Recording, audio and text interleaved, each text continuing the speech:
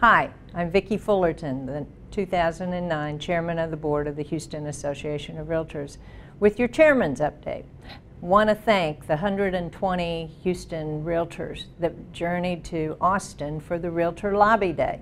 We made an impact with our four buses and people congregating in the, the lobby of the Capitol protecting private property rights and working for the issues that are important not just to realtors but to our consumers as well.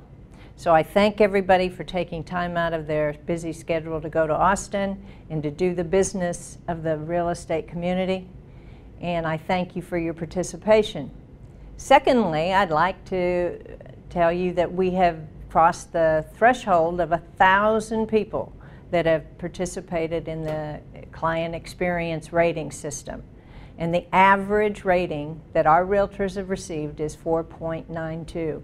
Not bad for a profession that is sometimes referred to as one step uh, ahead of used car salesmen. So to all of those agents that are participating, thank you. For those that haven't, this is an opportunity for you to find out what your clients really think.